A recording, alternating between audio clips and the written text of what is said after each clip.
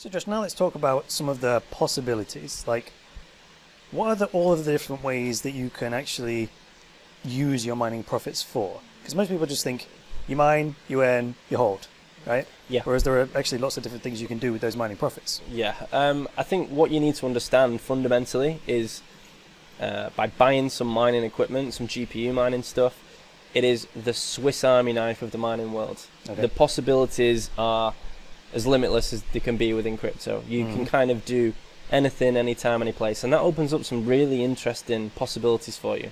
Okay. Um, and hopefully, we can talk about some of them and explain them a bit more. So you could just like um, take it on a day by day basis, for example. And what would you do if you were short term thinking? Yeah, so the kind of easiest go to is okay, I have spent this much money on this bit of kit.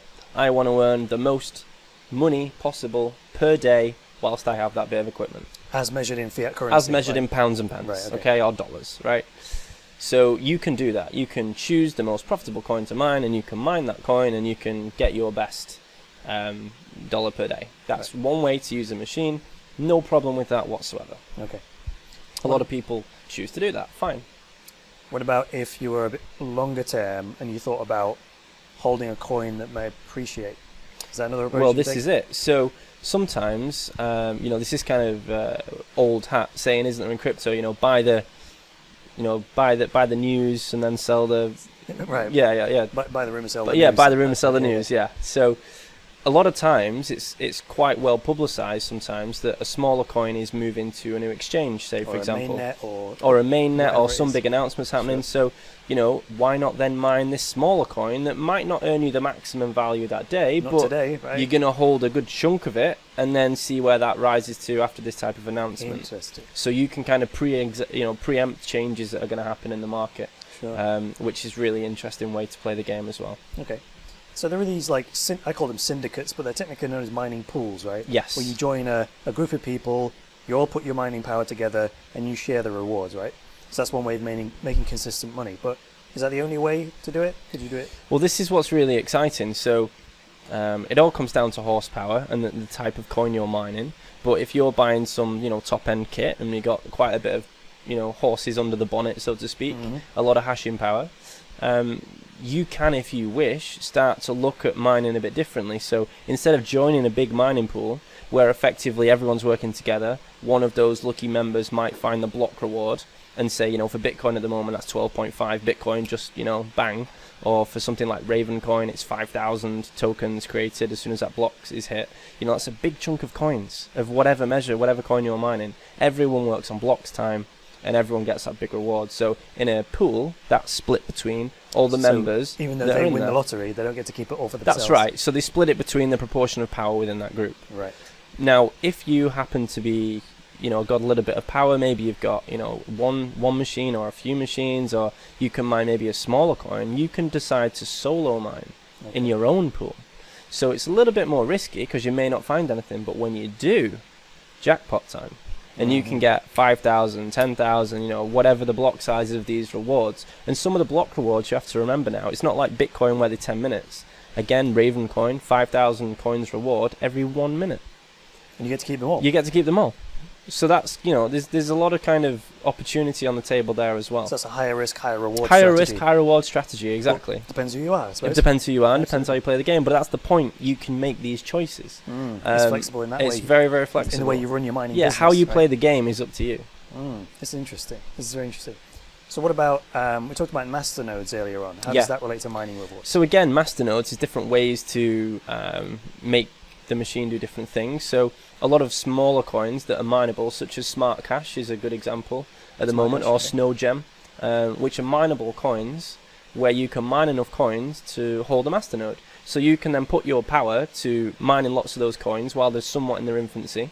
Um, knowing that you'll get a long time residual income from those Mhm. coins. So not only then do you turn a mining machine into a machine that's passive income every day because it's mining coins, you can have a second passive income within your original passive income by creating coins that then have masternode abilities. Right.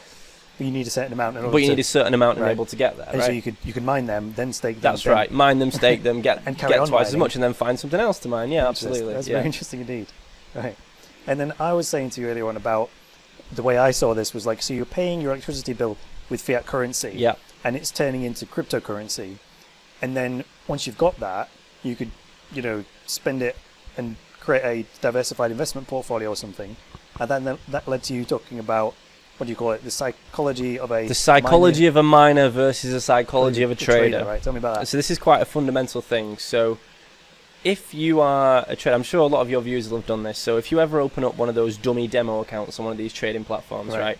Everybody seems to make millions. They give you a free. They give you free $10,000. dollars, and everyone seems to do really well because psychologically, you know, it's not real money, right? You just pff, spit some You there, spit some there. without yeah, any fear, right? you don't care. There's no emotion. Mm. The emotion of it. This is why, statistically speaking, women make better traders than men on the stock markets because they their brain processes money used to differently. You it, know, right. they, they- they're just better than the men are. Um, you know, better at men at tons of things, and handling money emotionally seems to be one of them. Um, so women do much better than trading. So removing the uh, the emotion is very important. So you know, follow the example. So someone comes and say they want to spend, okay, Josh, want to spend ten thousand pounds on mining equipment. Okay, here's my money. Cool. So you buy your equipment. Step one, your ass is always covered because you own that gear. So there's a bit of security there. Okay, so your risk isn't as much as spending ten thousand pounds on on on Bitcoin, for example. Mhm. So you've got some element of risk mitigated anyway. Then you end up having a machine which pays you cryptocurrency every single day. So what happens when you decide to pull the trigger on a trade?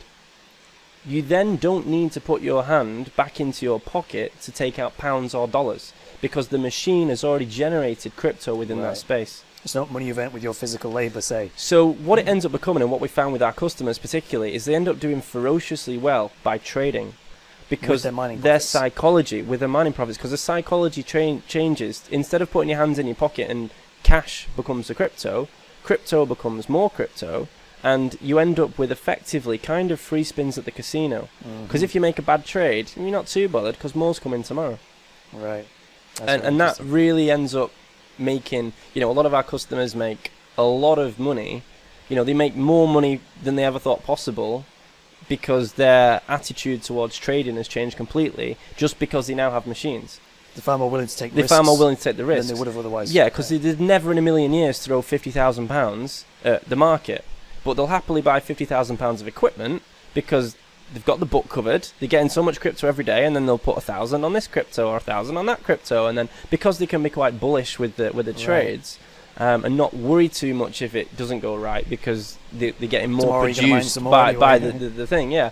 Um, it's a really you know great way you know it's it's it's one of those kind of softer examples that people sometimes don't really understand you kind of have to witness it to see the effect of That's it thinking beyond the day when you get the mining reward. that's right Usually yeah. that's where you, you think thought process stops, but it's like, but then what else is possible? Yeah, All so these so kinds of things we've out. seen some really interesting behaviour with some of our with some of our customers, and it's quite interesting to see because it's not something I ever really thought of when we got into this. I didn't think it would affect that type of things, but Right. it makes sense, So right? What people do with it, they're kind of creative. what people do with it, yeah, it's up to, up to you. So yeah, we've seen some really, really, really cool things and fun things, and um, you know, and then of course the kind of final thing you can do is you can move right down the bottom of the table to these brand new coins that have just come out, which are super high risk, but you know sometimes you can mine. You know, I know I keep banging on about Raven today, but that's what we're mining currently at the moment.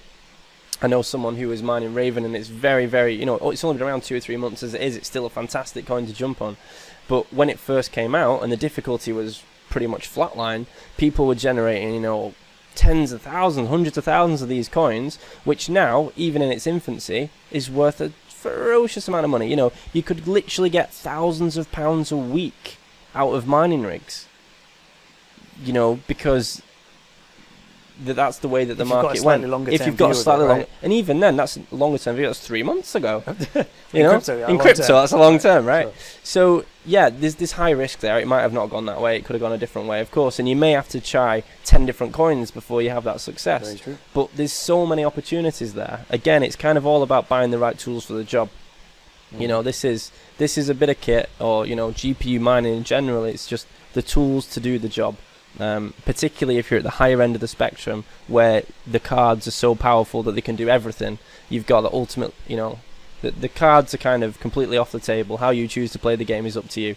So you can go right from just the simplest get the rig, turn it on, let it auto mine, pick the best coin, pay you in Bitcoin. Don't touch it. Don't again, touch it, pays you on every one end of the scale, right up to these creative That's ways right. of master nodes and trading. And all Exactly. this So it stuff. can be as easy or as complicated as you want. and therefore, as you can actually com- compound your profitability if you're willing to be more creative, you know, down the road. Like, Yeah, and the, and the thing is, you can play every single mining rig you have differently.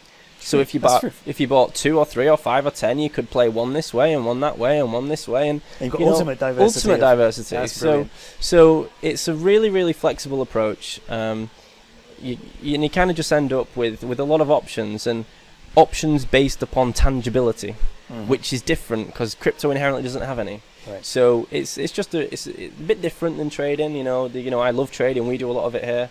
Um, you know, because that's that's where you can you know move and make a lot of crypto, right? Can but multiply your crypto. multiply your crypto. But fundamentally, you know, my confidence comes from from machines. My customers' confidence comes from machines, and it's nice just to kind of, you know, not have to put your hand in your pocket again. Right. You know, Because you participate in the creation of the coin in the yeah, first place. and that's it. And then you kind of have the the other side of it, whereby having equipment like this, you become a torchbearer. Mm. You are carrying the standard of the future. You know, you can kind of get quite passionate about it. I mean, you are you are voting, you are creating the blockchain, you are processing the transactions, you are upkeeping the power. You know, if, for example, everything was just to stop, you know, when we saw the price crash a few, you know, maybe six weeks ago now, and things were really getting tough, everyone kept asking, you know, is this the bottom of the market? That was everyone's big question.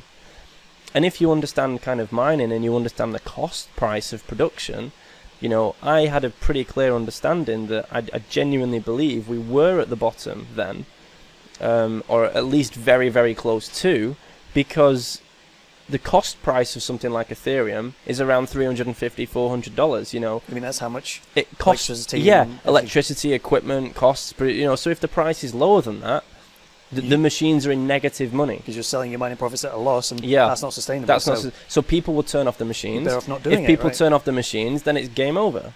You know, the the transactions stop. You know, Bitcoin. would- You know, if Bitcoin fell below about four and a half thousand dollars, the same thing would happen there. So there's all these kind of intrinsic production costs that people sometimes that trade. Um, you know, it's different if you're talking about Ripple or Neo that Mhm. don't have mineable platforms, but sometimes it's easy to forget that there's a fixed cost in those production. So I, I feel quite confident that we were very close to the bottom, if not the bottom, in those types of price movements. Because any lower than that, for any period of time, the network will come to a grinding halt. Gotcha. Um, so yeah, so I'm hopefully confident now. Things have started to move a little bit, and, and fingers crossed with consensus happening and lots of other exciting things. You know, 2018 is going to be a great year for It's gonna be a crypto. year, Yeah. sure.